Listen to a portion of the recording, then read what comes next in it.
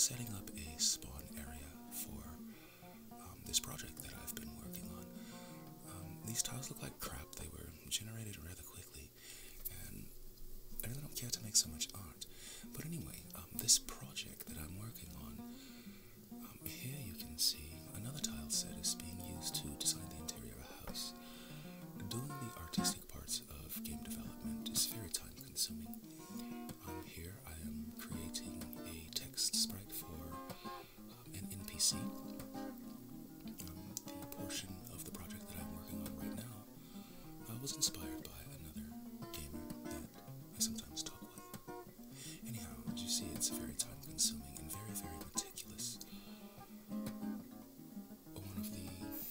biggest setbacks is having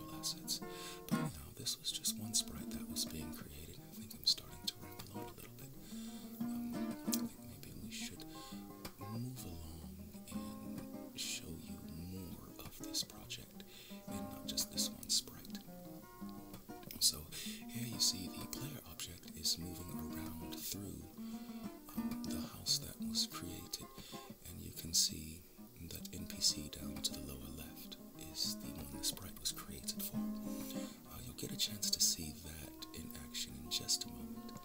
Um, we have some collision issues going on, um, namely with tile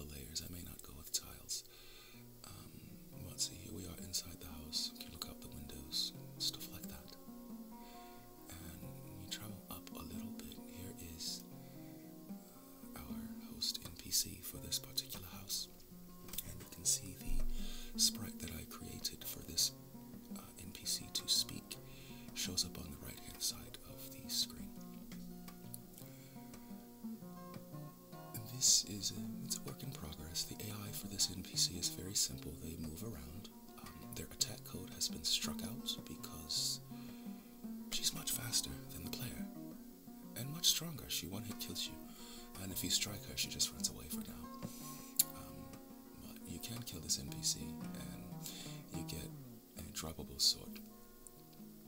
So moving right along, we're going to look at some other things. Um, you can see here how the feet were just going through the wall. Issue and some layering depth issues going on. Um, our doors and whatnot work.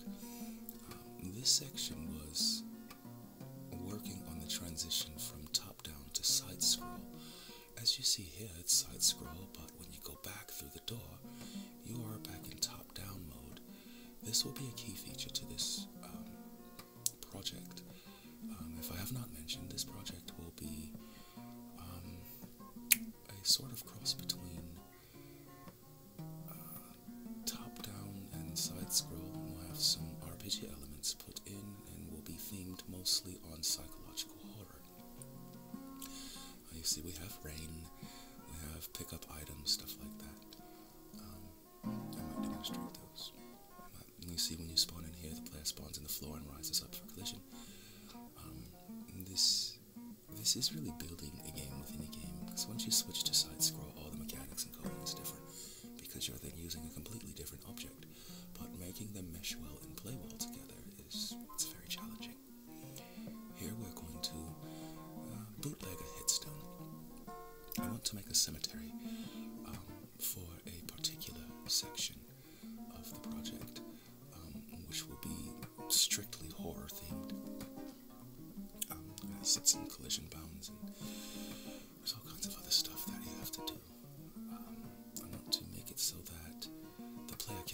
these tombstones. So there's all kinds of code and stuff that has to be attached to these images when you create objects. Um, you can sort of think of it as the object is what holds your code, and the image will be, um, so to speak, the skin that you put on your object. So when I put this object into the game world, it will just be, um, you'll see in just a second, it will just be a tombstone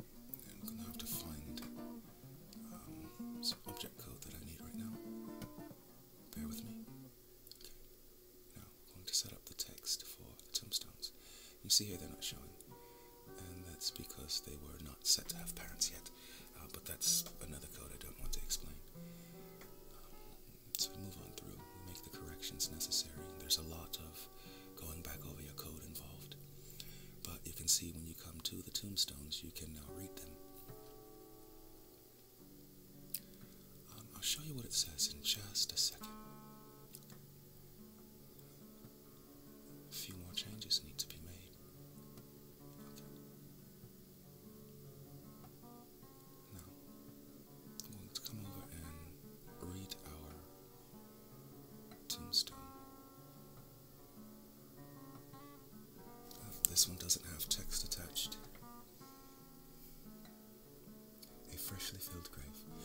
This one was successful.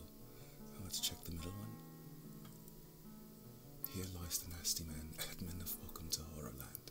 Uh, oh, um, it's one of the inventories that are part of this game. Um, so far, there are five inventories that must be managed simultaneously as you play through the game. But this cemetery area was being created as um, sort of the pre-zone changing over to a completely different game world. I will more than likely scrap this room though. Um, this was just an experimental test rig that I set up.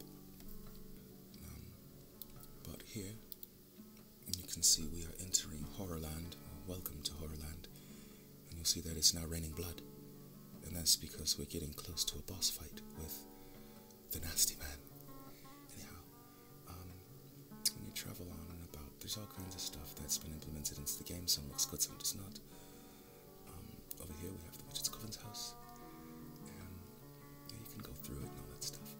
But we are going to Horrorland, so I'm gonna go back over to this test room.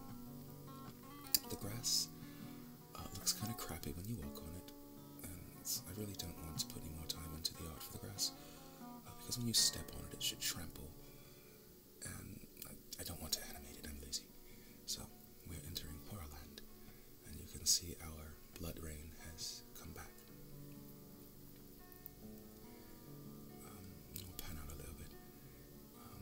are some problems with the um, backgrounds and whatnot. The display buffer is not clearing. I'll go ahead and change that later. But during this game, the camera will pan in and out to add some um, slightly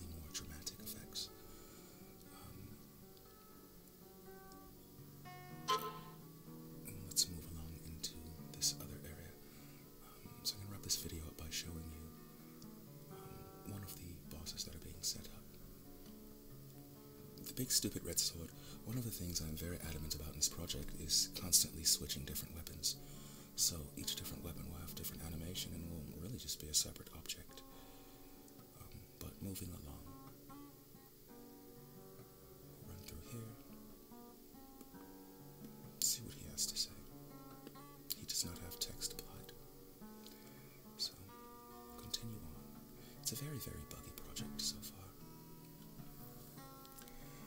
have entered the boss arena, and you can see up here is the Nasty Man.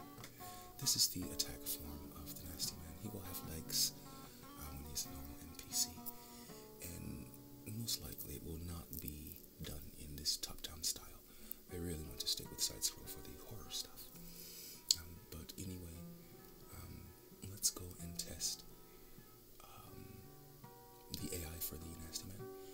When you get within range, he should begin to attack you by um, trying to move in and touch the player, which will cause contact damage. If you are within range too long, he should drop poisonous maggots on the ground to attack you. Let's see how that works out. Okay, we see the maggots are coming out.